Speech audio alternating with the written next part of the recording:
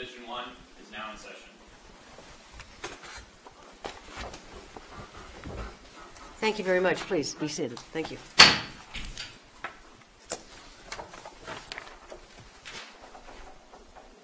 This is the time set for oral argument in ATR versus CEC. And Scott I- Ayers? Your Honor, the name is Ayers. Ayers, thank you very much. Um, Our cause number, 1CACV 150285. Let's go ahead and start with introductions of counsel.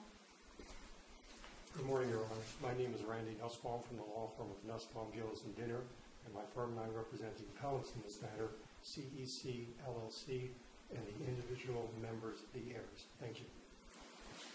Good morning, Your Honor. My name is David Dick. I represent the plaintiff slash appellant, ATR. Great. Thank you both, thank you both uh, here. Let me go through a few preliminaries. Each side has 20 minutes. If the appellant would like to reserve some time for rebuttal, when you go to the podium, if you'll let us know how much time you'd like to reserve, we'll try and make sure that we don't uh, um, cre- creep into your rebuttal time, as- or as little as possible. Let me advise uh, the parties, we have reviewed the briefs, we have read pertinent portions of the record. The three of us have conferenced the case, so we're familiar with the issues and the arguments you have raised uh, on appeal. We are uh, recording the proceedings today, both audio and vi- video, and in a few days, the video will be up on our website, and also you can review it on uh, YouTube. Because of that, when you go to the lectern, if you would please reintroduce yourself, so if someone, however, listens to the audio version, they will be able to identify the speaker. And with that, let's go ahead and begin. Thank you.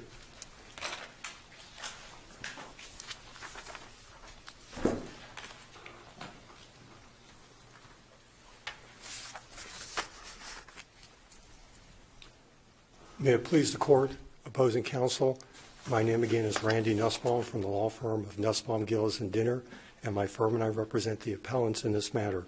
I would like to reserve four minutes for rebuttal, please. Your Honors, there's two questions before the court. The first question involves whether a landlord breaches the covenant of good faith and fair dealing by requiring a new tenant as a condition of entering into a new lease to pay amounts that may have been owed by previous tenants. That's the first question.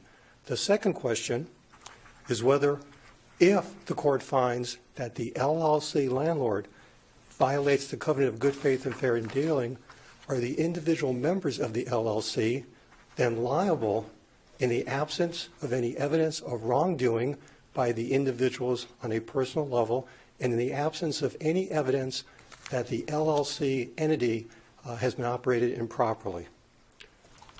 In this matter, my client, CEC, is simply a commercial landlord.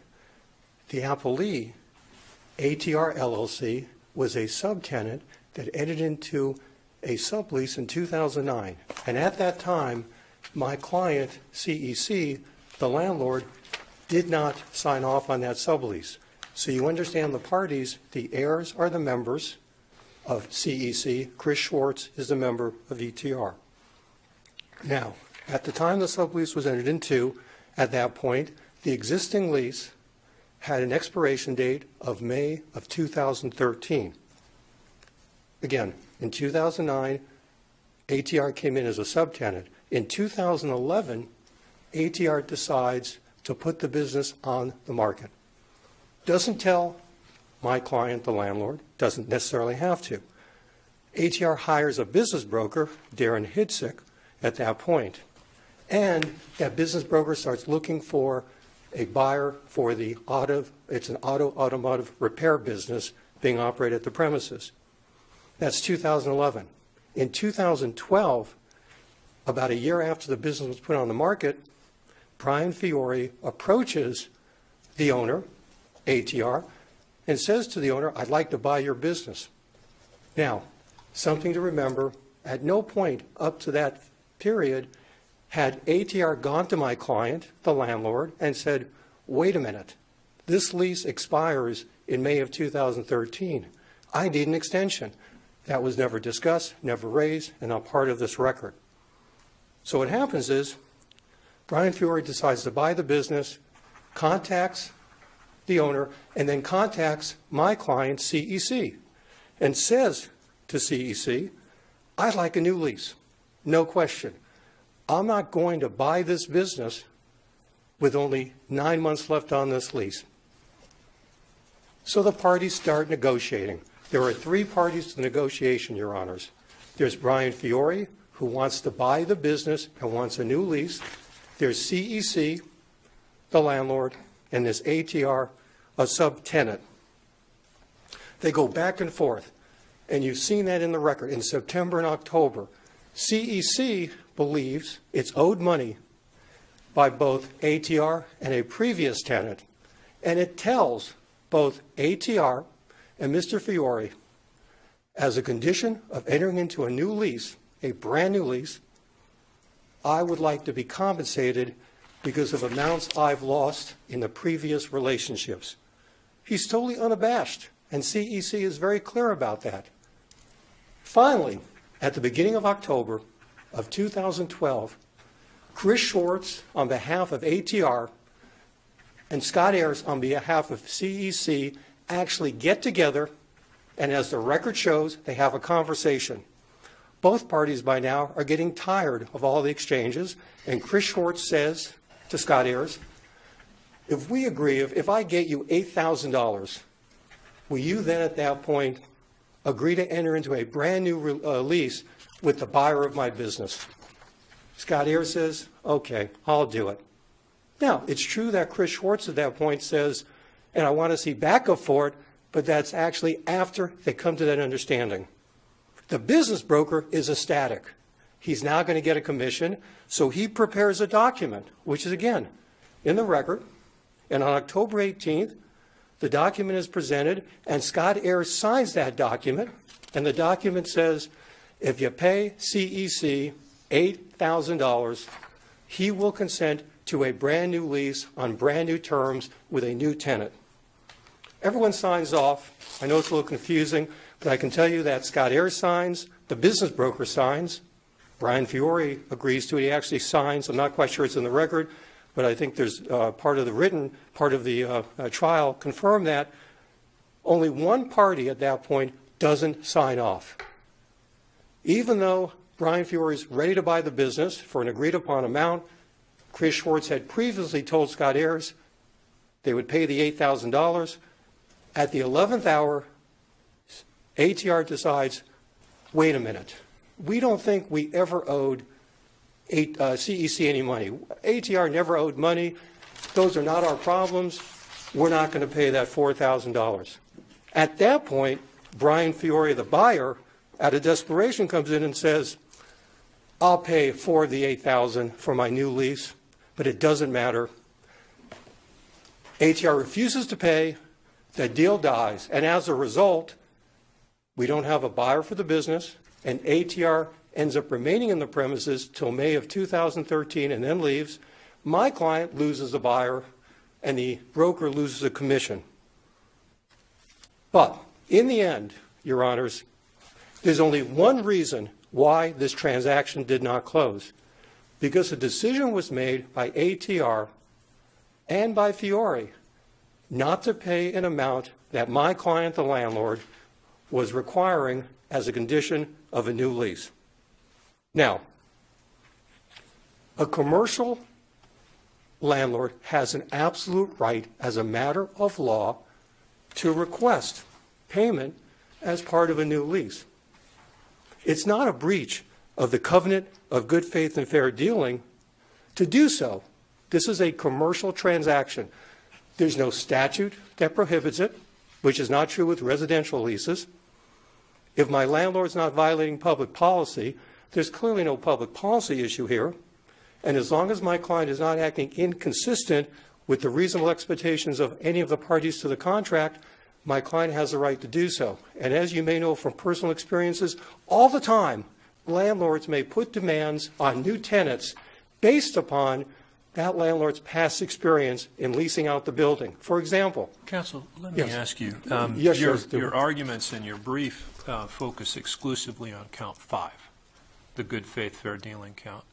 But as I read this record, both with the trial judge's decision, and we're here post-trial, as well as the judgment, it also found in favor of plaintiff on count six. Um, It appears that any challenge to that has been waived. Do we need to even address the good faith, fair dealing issues that you're addressing, given that separate and independent basis for the judgment?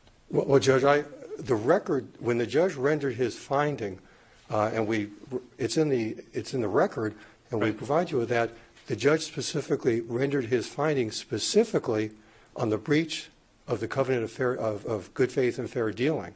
That's, that's one aspect of it, correct. But there's also, he found in favor of plaintiffs on count six. And Judge, I, I apologize.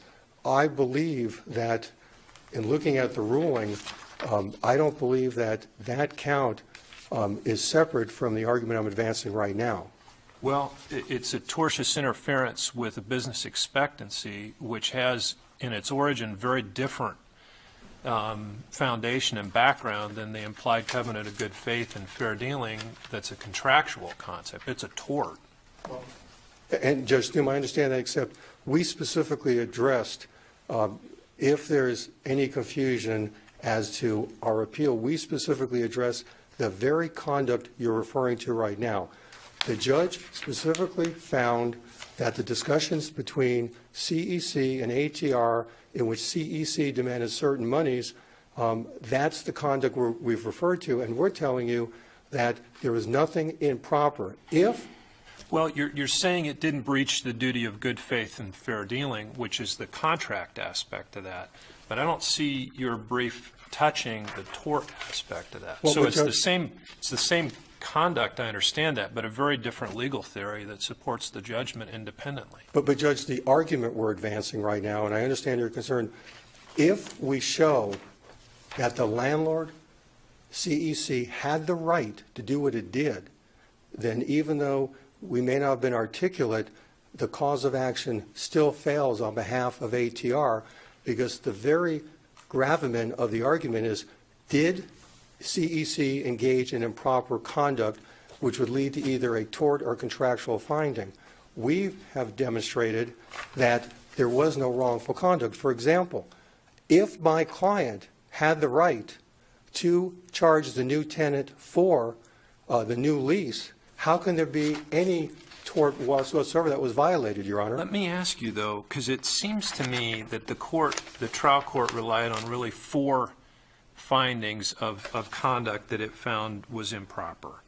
Conditioning a willingness to assign the master lease by requiring ATR to, and I'm reading here, but, um, Yes. to assume repayment, uh, repayment obligations for a loan that Ayers made to Reyna. I'll call that the Reyna loan, because it's, it's a little simpler. Uh, and ATR had no obligation, to my knowledge, to assume that. Um, and then to collect back rent under the master lease that C had- CEC had waived its right to collect. Now, I understand there's a different point of view on that. That's a contractual issue, so Sure. let me kind of set that aside. But then secondly, improperly claiming a lien on ATR's personal property or non-real property. And then three, threatening to evict ATR, and then threatening to lock ATR out of the master lease property. So it's, I understand your focus on the limit of what good faith fair dealing requires with respect to a new lease. Um, But it seems to me that those four issues that I'm, I get from the trial court's findings um, could support uh, conduct that was either tortious or lack of good faith fair dealing, quite short of whether a new lease was executed. But, Judge, here's the reason why, in the end, we don't believe it matters. There's a lot of conduct that took place in September, a lot of exchanges back and forth where CEC made demands, and you've, you've just described those. Um, All of that became superfluous. None of that resulted in Brian Fiore not buying the business. In other words, if the conduct you've just described triggered Mr. Fiore walking away, I fully understand the tort. But remember, Judge, on or about October 18th, reduced to writing was a document which eliminated all outstanding issues. That was a follow-through to a meeting took place on, I believe, October 3rd, in which Mr. Schwartz agreed to pay the 8,000. So even if there had been conduct, it all, at that point, is rendered moot because there's an agreement, then you have a document prepared. So the only issue at that point on October 18th that was left was whether or not, at that point, my client, CEC, could demand that payment.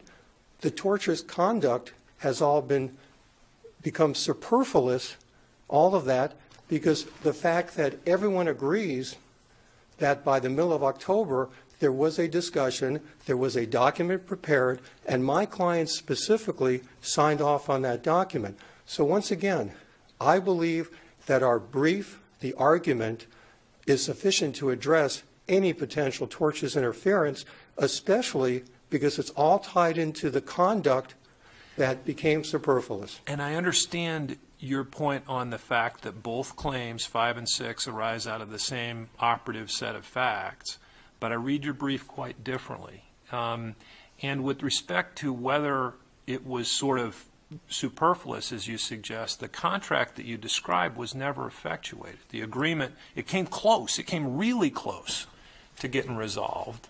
Um, But there was no claim, at least, and I've read every word of the trial testimony, there was no claim that that contract was binding on all parties.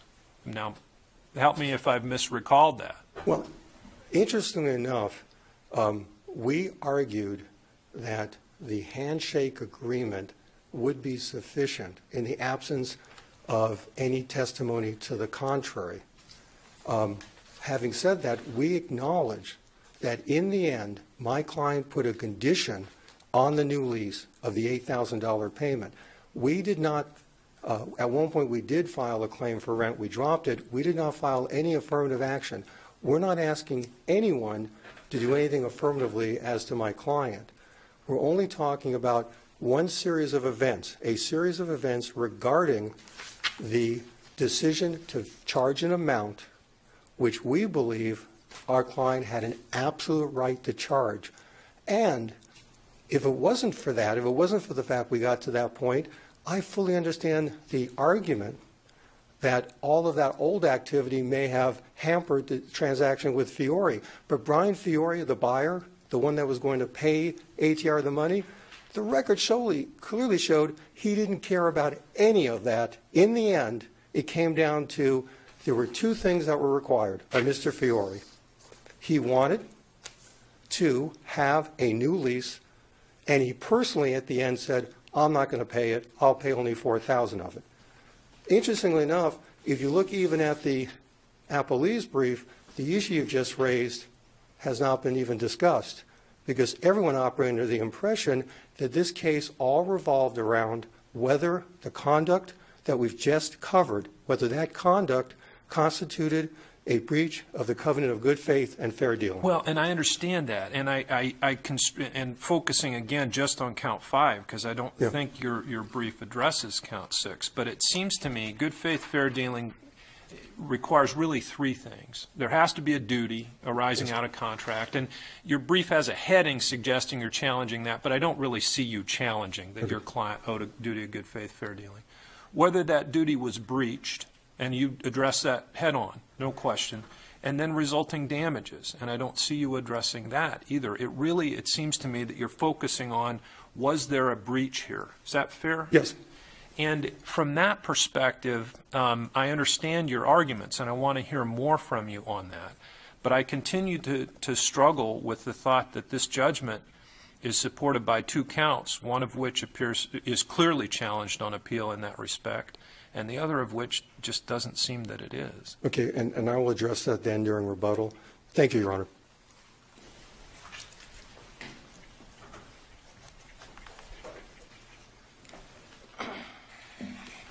May it please the court, my name is David Dick. I represent the plaintiff, ATR, um, who is a, basically a one-man pop, mom and pop shop that does auto repair about two blocks from my house. They have been friends with me and worked on, I'm guessing, at least 17 of, of my old cars. Um, I know Chris Schwartz personally, and I'm here to try to explain the history of this case, which is a little more complex than the defendant is letting you understand. Scott Ayers has multiple businesses. He has a business called CEC, which is the defendant in this case. He also has a business called DDASVS. Um, if you go to the Exhibit 70, you'll see the loan agreement that That was the rain, Reyna loan, right? Correct, and that's with Mr. Reyna. It's not even with New Millennium. And the importance of this is this, because when they started the original contract, master lease, which is Exhibit 3 and 152, it was dated originally 5/8, then 5/14, and then 5/16. And that's apparently because Mr. Reyna didn't have enough money to start the business. So Mr. Ayers goes to him and says, I'll loan you $5,000, or, excuse me, $6,848 um, which he does, and then basically doesn't do anything about it between 2009 and September of 2012. I shouldn't say that. I should say that when September of 2000, excuse me, between 2008 and 2009, when my client buys the assets of New Millennium in late 2009, you'll be able to look at Exhibit 117. 117 is a, an email from Mr. Ayers to Mr. Reyna saying, I'm not going to sign the sublease unless you pay me my $6,800. Mr. Reyna didn't respond. Mr. Reyna had made a payment on the loan. It might have been the, the reason he didn't uh, respond, but the point that Mr. Ayers did, he just let that sit there. He didn't say at any time, I have a UCC lien, which he did not. He did not say, I borrowed you $6,000 and file a UCC lien on New Millennium. New Millennium didn't get the money, Mr. Reyna did. What happened next was, is that Mr. Ayers then apparently get, he gets a, an email correspondence from my client, Chris Schwartz, Exhibit 63. And it basically says, hi, I'm the new lessee of this end suite. Mr. Ayers has a paint shop on one end. My client has two bays as uh, automotive repair. Scott, Mr. Schwartz on Exhibit 63 says, "Hi, I'm Scott. Or, I'm Chris. If you need anything to me to sign anything, give it to me. I'm going to be paying the rent." And he pays the rent each and every month from November of 2009 all the way through September of 2012. No problems. Nothing ever said that Exhibit 11 applies. And, he, and Exhibit 11 is called, I call it the MOU, the Memorandum of Understanding. Basically, what it says is that we're not going to use the terms in the master lease. We're going to change them a little bit and make your payment higher at the first and then change it on down the lease. Well, that's never sent to my client by Mr. Reyna, and we have my client's purchase agreement, Exhibit 7, and the other documents that show he never got that. Now, Mr. Ayers basically doesn't say anything about the memorandum of understanding until my client finds a buyer. Now, I, I, it's really important for me to for you to understand one point. When Mr. New Millennium had the, the two bays, they were making maybe ten, twelve thousand dollars a month. My client, Chris Schwartz, goes out. He does advertising in grocery stores. He does advertising in the local community, and he builds his business from fourteen thousand to about thirty thousand a month. A very lucrative business, and he then ha- hires the real estate, uh, the business sales agent, who finds the buyer from the state of Washington. The buyer comes down and says, "Hey, I like this. I'll buy it for eighty thousand. Now, what's really important is th- you have to understand that my client, Chris Schwartz, kind of felt like the ducks at one of these carnival uh, shows. You hit one duck and it turns over, and another duck shows up. Mr. Ayers first sent him uh, Exhibit 12, which says, I'm not going to sign a new lease with Mr. Fiore unless you pay $6,800 plus interest. Didn't he have a right to do that? No, Your Honor, because the, the, the debt that was owed, that 6,800, was never done as a UCC. I understand that, but the, and just focusing on count five, because I want to hear your perspective on what, whether count six is properly before us or not. But the duty of good faith and fair dealing doesn't require a party to enter into a new contract, does it? Correct, but the, but the Wagenseller case is important on this. You can't do something for a reason that violates public policy. Public policy says if you're going to buy an asset and somebody's going to make a claim for a lien, they have to do a UCC filing so the good faith buyer, good faith purchaser for value knows about it. And Mr. Schwartz did the UCC search, nothing there. And Mr. Ayers then says, no, I get to bring up this loan And, and the part that I want the court to understand about bad faith is he didn't bring up the loan and say, I am owed $5,800 because of the, at least the one payment I could find. He says, I'm owed $6,800 plus plus $4,000 in interest. And the point that, that I'm getting at here is that Mr. Ayers knew he had no right to say to Chris, you must pay my loan. Now, if he would have said to Chris, hey, I won't sign a new lease unless you give me a certain amount of money, we would have been in an entirely different situation. But isn't there testimony at, from the trial that that was his approach, that this $8,000 was just a number he sort of pulled up? No, I'm not Honor. saying the finder of fact was required to believe that, but isn't that what he testified? Um, Mr. Ayers did eventually land on that third duck and claim that that was the reason he wasn't agreeing to the new lease. But in the meantime, and all of you look at all of his emails, it's disproven by those emails. There's a two pages in my brief that say that the $8,000 agreement was done on approximately, was discussed, let me make sure I get the time dates, Mr. Ayers make the first claim for other amounts on September 10th. September 10th through October 17th, my client says, prove to me I owe you that money. And they go through the different variations, loan, rent, and then new lease. Um, and the new lease wasn't even brought up at that point. It was kind of implied. Mr. Schwartz says, well, would you take $8,000 and sign the new lease? And, and, and Mr. Ayers says, yeah, sure I will. And then Chris says, well, prove to me that you, I'm owe, I owe you the 8,000 either by rent or by any other document. When Mr. Reyna does not do that, excuse me, Mr. Ayers does not do that, my client says, no, I won't pay additional money to give you about 21% of the sales price because you have to remember the business And is selling for understand 80. There's, there's a net net in there, a- and, I, I, s- I- I know that, that number from the filings, or at least know of that concept. But it- it, didn't Mr. Fiore make it pretty plain, pretty consistently, that his willingness to buy the assets from your client was conditioned on getting a new lease? No, he actually said four things. Number one, he wanted a release from Scott Ayers that he would not have any claim on any of the assets. And you got to remember when, it, when, Numa, when ATR bought the place, there was Exhibit 17, a very minimal list of assets. My client added two more lists I- and other things. And specifically, Mr. Fiore, in his last letter on October 21st, said, in order for me to buy, I need three things. I need Scott Ayers to say he doesn't have a lien on your property. I need Scott Ayers to um, specifically say that you don't owe past rent. And then I need a lease from Scott Ayers. There was three things there, and two of those were just claims that had no basis for Mr. Ayers to make those. And, again, though, with respect to, you know, and perhaps I'm slipping into the resulting damages, which you've heard me say I'm, I don't think is in front of us, but, um, you know, if all of this was contingent on the parties entering into a new lease, with, from Mr. Fiore's perspective, and if the landlord had no good faith, fair dealing to, obligation to enter into a new lease, how, how has there been an actual breach of that obligation been shown? two parts to that. Mr. Fiore was not tied to that location. If you look at the email, specifically um, Exhibit 25, I bel new lease, Exhibit 25, you'll see in there that he basically says, your location, Mr. Ayers, is not desirable for me because it's so small. And there was massive amount of discussion between Mr. between ATR, Chris Schwartz, and Mr. Fiore that there were four other locations nearby that he could rent and, and use as a location.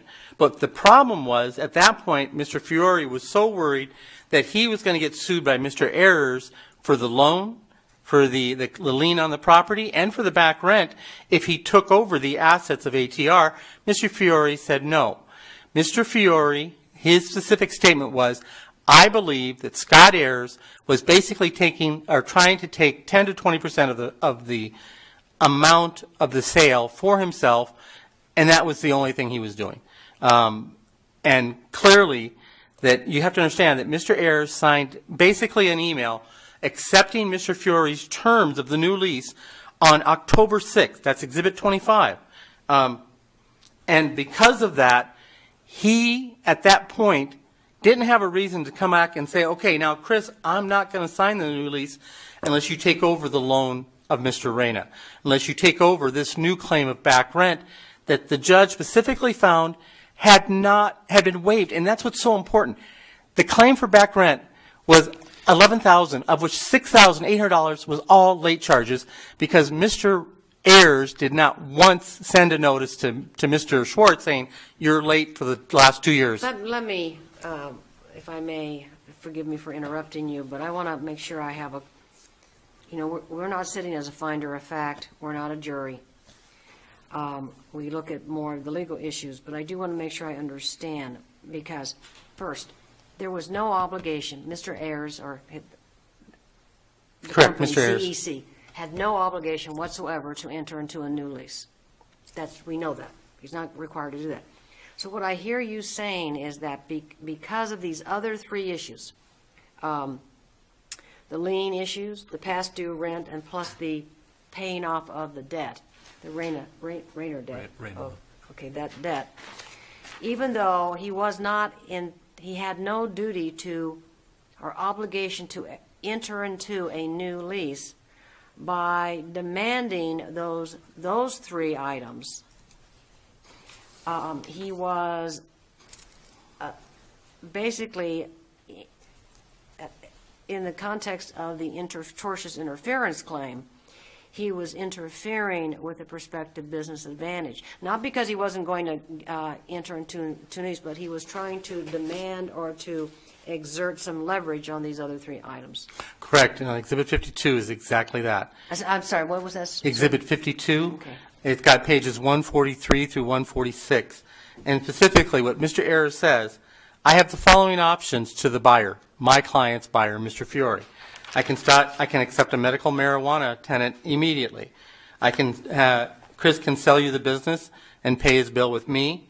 Chris can make payment of 13000 and finish out the lease. Or Chris leaves and you and I make some sort of deal. Or Chris leaves and the former employees, they've all contacted me, make some sort of a deal. Or six, I take over ATR. What he did and what his intention was either one of the last two. He was going to sell ATR to the buyer. And the emails that we have say that. He says, I own everything. I'll just evict Chris and I will sell it to you.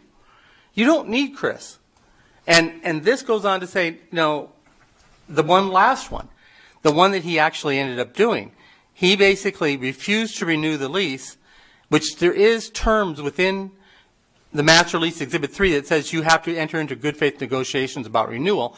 He didn't do that. He just flat out refused and took over ATR, and he's operated it for the last two years. Um, the point I'm getting at, his bad faith and his tortious interference is clearly stated in Exhibit 52 at CAC uh, 141 through 146. And that, I think, gives the court um, substantial evidence to do what it did. And I agree with what you've been saying. The court said, you've done two things. You violated your duty of good faith, and you did tortuously interfere with the sale. And I want to bring up one other point. CEC had no business interest in enforcing the loan of DDASAV, or whatever it was. Um, but that was the sticking point in this whole deal. And when they start talking about Scott Ayers' personal liability, he went, and if you look at all his emails, almost all of them are signed Scott. They're not signed CAC, they're not signed manager of CAC, they're simply signed by Mr. Ayers. And Mr. Ayers, in his letters, uses the pronoun I. I can sell you this. Counsel, let me ask you, uh, uh, before we dive deep into that, and I want to, um, what is your perspective on whether uh, the substance of count six is before this court, or whether that's been waived? No, Your Honor, I don't think it's been waived at all. The tortious interference was, was specifically pled. You might remember there was a... Counsel, just so you understand my question, I I understand it's an aspect of the judgment. The question is whether that's been waived on appeal or not. Your Honor, I didn't see a single argument in the defendant's brief that went to that. He has been relying solely on there isn't a duty of good faith that was breached, and there's no personal liability of Mr. Ayers and his wife. And let me, given that, turn back to five with respect to personal liability. um, it seems to me, and I understand you're pointing out the use of personal pronouns, but um, to cut through from a contractual perspective to the individual members, wouldn't you have to show um, a fair bit more than what you did?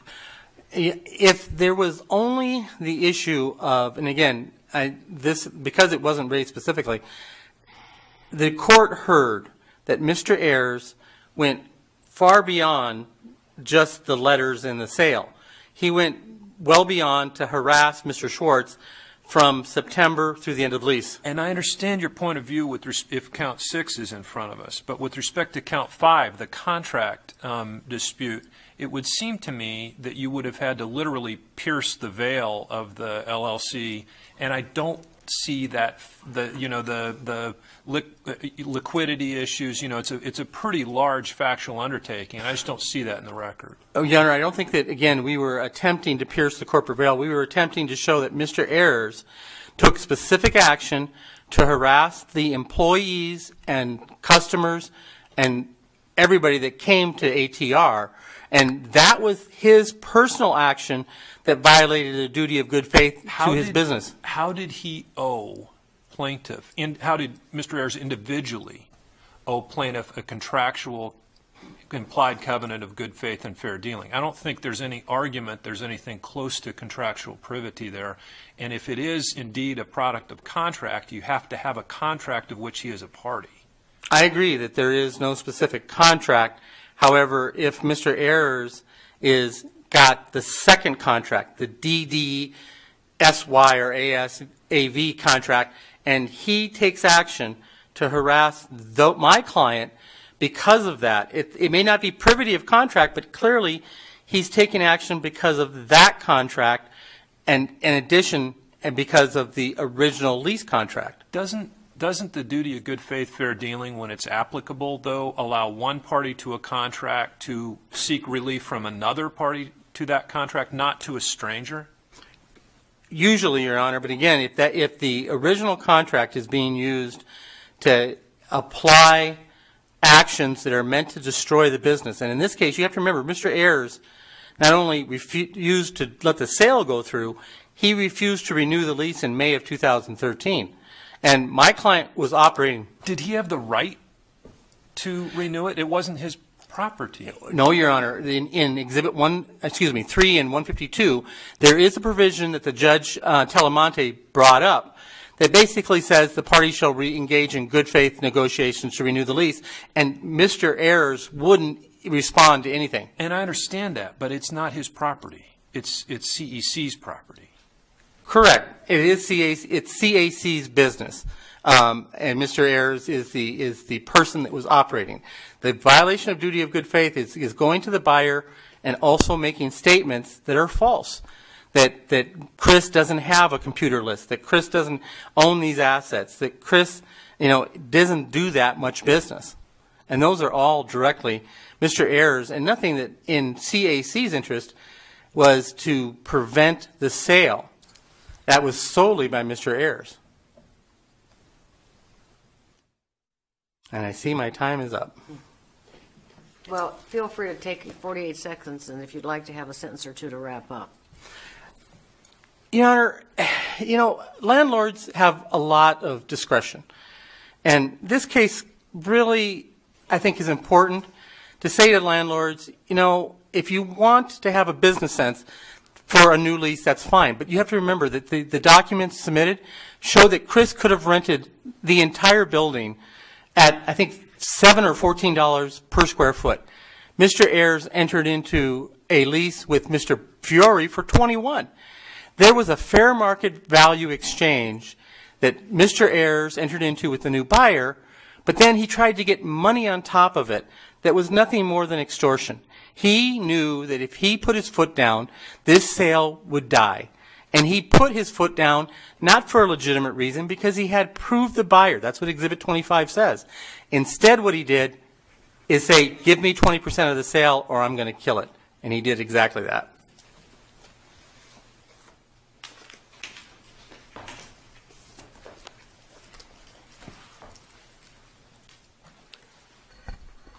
Your Honors, When the court rendered its ruling, the court relied upon what I call the tortious interference claim on the verbiage that that my client interfered with plaintiff's business expectations by preventing the sale from plaintiff to Brian Fiore.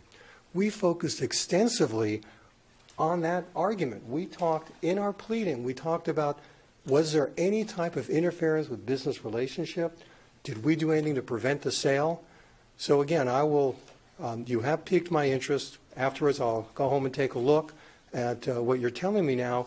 But I will tell you that that's what the Judge Talamante said, Mr. Nussbaum, CEC interfered with ATR's business expectations. That was a torturous interference. Our brief is replete with an explanation about how there was no interference, and there was no interference with any business uh, expectations in this case. And that's because, Pardon? and that is because, Because three reasons. First of all, the activity that was alleged had been, it became irrelevant once the parties reached an understanding and it became clear Mr. Mr. Ayers and CEC didn't care about any of that. And this whole idea that he was being articulate in what he wanted, in the end, he finally threw up his arms and said, CEC will take eight grand, I don't care what it's for. Number two, tied into that is the fact that we can't understand what the tortious interference was because all we did, we did nothing to block that sale. Think about the record, Your Honor. We didn't go to Fiore and say, don't buy the business. Quite to the contrary, we negotiated extensively with Mr. Fiore specifically so there'd be a new lease. How can that be evidence of an interference with a business expectation? What we don't understand and I can leave you with this, what exactly was ATR's business expectation that supposedly was breached? What exactly was ATR asking us to have done, and what was it expecting? You've heard argument that because we had negotiated and we're negotiating a good lease with Fiore, that should have been sufficient.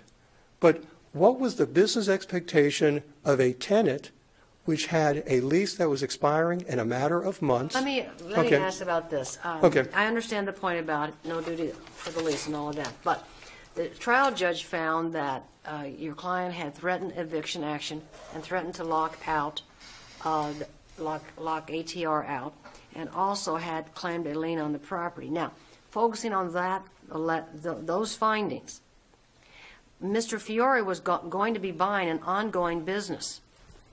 It's true, he wanted a, a- a lease, but he's buying an, an established, ongoing operating business. Therefore, these, these things, although they might not have affected the entry of a new lease, they would have interrupted the ongoing business operations of ATR that this man wanted to acquire. Therefore, they had an effect, and why wouldn't that be enough to then to to tortiously interfere? Here's why, Judge Norris. Yeah. Because if you look at what's before the court, you'll see Mr. Fiore's comments at the end of October, October 20th, saying, I want to go forward. He was, read, there's, an email exchange on the 19th and 20th in which he said, I want to go forward. My family's coming down. Uh, I'm excited. This is my first business. Does that sound like an individual who's now nervous about buying the business, Judge Norris? Think about that. Take a look at the exchange on the 18th, 19th, and 20th, where, and then look at his testimony. Why did he throw up his arms in the end? He threw up his arms because he couldn't get the lease. He wanted that new lease, and he was frustrated. This is a tragic case for a lot of reasons, but to suggest that anything that occurred impacted on Mr. Fiore, there's nothing in the record. Quite to the contrary, this guy went to Herculean lengths to keep the deal alive. He wanted it so badly. He was so excited. Um, he was ready to close on October 20th, 21st, 22nd, 23rd. He wanted to go. How is that evidence of any tortious interference whatsoever? Now, let me leave you. If Mr. Fiore, by the middle of October, had said, I'm not touching this business because of all these other issues, but the record shows the exact opposite. Thank you very much. Any other questions? Thank you, Your Honors. Thank you. Thank you both for your arguments and your briefing on appeal. We'll take this matter under advisement and issue a decision in due course.